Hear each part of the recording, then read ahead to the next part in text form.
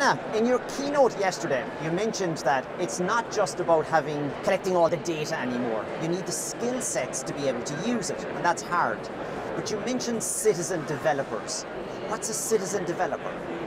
Well, citizen developer is actually a person who has a bit of technical affinity and who is uh, ready to use um, so-called low-code, no-code platforms, which allow you, which allow him or her to actually build his or her own app.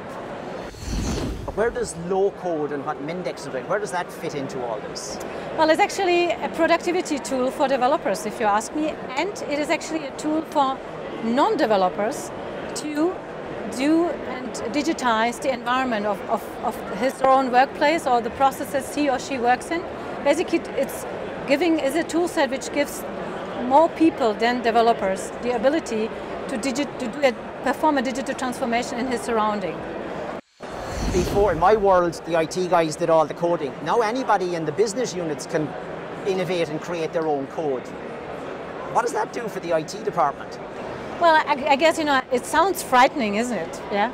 On the other hand, it is actually not because when you think about it, we have, we are in a, in a practical, in a war of talent situation and we have a really a gap between demand and supply.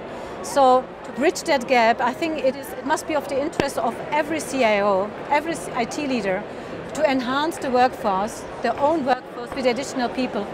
That means we, we, talk, we call it democratization of IT. That means that we want to give a, basically a certain freedom to our business to feel also empowered to do digital transformation by themselves. Of course, we do backend integration and we also help them and guide them how to utilize the tools best because not always they are totally intuitive and we do some pre-composing, but this is, I think, where we see it's also the future of IT.